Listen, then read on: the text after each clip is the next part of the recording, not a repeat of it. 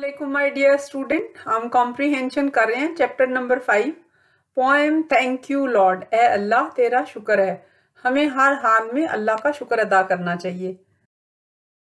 आज हम आ, करेंगे homophones homophones in English are the words with same sound but different meaning and spelling English में homophone उन वर्ड्स को कहते हैं जो साउंड बोलने में एक जैसे होते हैं, लेकिन उनके मीनिंग, उनके मानी और उनके स्पेलिंग डिफरेंट होते हैं, फ़र्क होते हैं।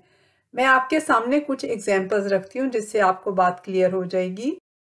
जैसे ये है सन। आपको पता है कि जो लड़का होता है, उसको इंग्लिश में सन कहते हैं माँ बाप का बेटा।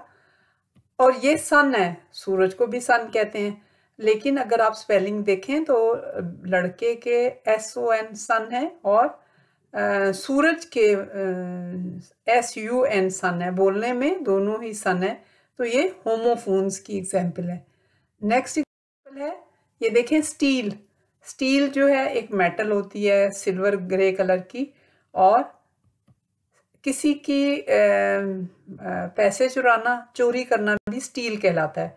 स्टील जो मेटल है, धात है, उसके स्पेलिंग है S, T, double, E, L steel और चोरी करने के जो स्पेलिंग है स्टील के, वो S T E A L और ये होमोफोन्स हैं स्टील एंड स्टील फिर है प्रे प्रे कहते हैं शिकार करने को, जैसे टाइगर जो है वो स्टॉक्स इट्स प्रे वो अपने the act of hunting and killing for food जो जंगली जानवर होते हैं, वो खुराक को हासिल करने के लिए छोटे जानवरों को मारते हैं।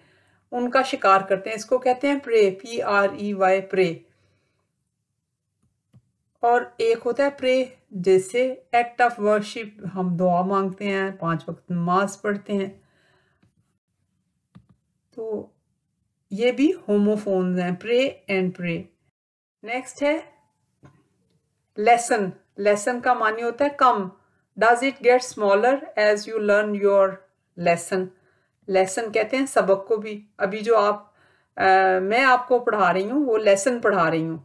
लेकिन कोई चीज़ कम हो जाए तो उसको भी लेसन कहते हैं। लेकिन दोनों के स्पेलिंग डिफरेंट है। कम होने के हैं L E double S E N lessen और जो सबक है लेसन उसके हैं L E double S O N lesson अब आपके बुक में कुछ होमोफोन्स गिवन वर्ड्स दिए हुए हैं। आपने उनके होमोफोन्स लिखने हैं। वो गिवन वर्ड्स कौन से हैं?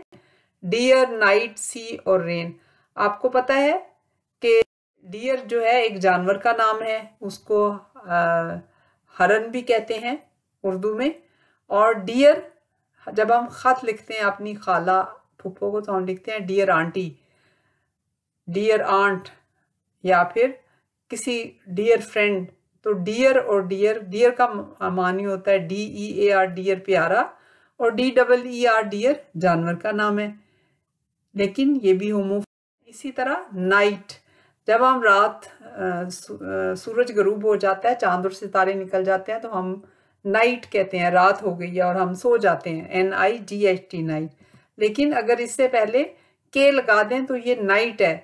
जो सोल्जर होता है, जिसने ज़रा और बख्तर पहनी होती है, उसको नाइट कहते हैं। K N I G H T knight फिर है सी समुंदर में पानी को सी कहते हैं, समुंदर को। एस ई ए सी लेकिन देखने को भी सी कहते हैं, आँखों से देखने को एस डबल ई सी कहते हैं। तो ये भी सी का होमोफोन सी है। लेकिन दोनों के स्पेलिंग भी डिफरेंट हैं और मानी भी डिफरेंट फिर है रेन आप देखें कि ये घोड़सवार है, इसने लगाम दी हुई है घोड़े को। तो ये जो, घोड़े को कंट्रोल करने के लिए जो उसे चमड़े का सामान पहनाते हैं, उसको रेन कहते हैं। R E I N rein और R A I N rain जो है बादलों से बारिश के बरसने को कहते हैं, बारिश। टेस्ट योर स्पेलिंग अब नेक्स्ट सेगमेंट में आप अपने स्पेलिंग टेस्ट करें। आप ऐसा करें कॉपी पेंसिल लेके आए और जो मैं आपको पिक्चर दिखाती हूँ उसके स्पेलिंग खुद से लिखें। आप ठीक लिखते हैं और फिर आपके सामने एक आ, तीन आ, स्पेलिंग लिखे होंगे। ईच रो में आपने उसमें करेक्ट वन को सर्कल करना है। तो है ये क्या है? क्लाउड आप देखें क्लाउड का लाउड तो पहले क सी एल क्लाउड तो ये तीन स्पेलिंग हैं। तो आप इनमें से किसको एनसर्कल करेंगे? शाबाश वेरी गुड तो ये C L O U D cloud जो है, ये करेक्ट आंसर है। ठीक है? नेक्स्ट है मॉर्निंग आप लिखें खुद से मॉर्निंग के स्पेलिंग और फिर इसमें से देखें आपने कौन से लिखे हैं।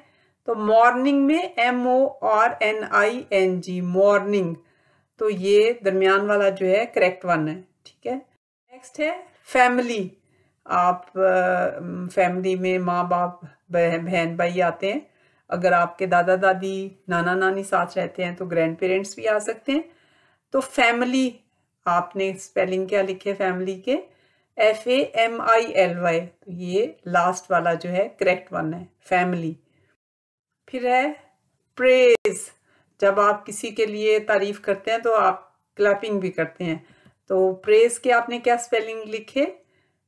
प्रेस आप देखें कि P R A I S C press ये करेक्ट वन है, क्योंकि प्रेसी भी नहीं होता और प्राइज भी नहीं होता। नेक्स्ट है, क्रॉल। जब बच्चा अपने टांगों और हाथों से चलता है तो उसको कहते हैं क्रॉल। तो आपने कौन से स्पेलिंग लिखे? क्रॉल।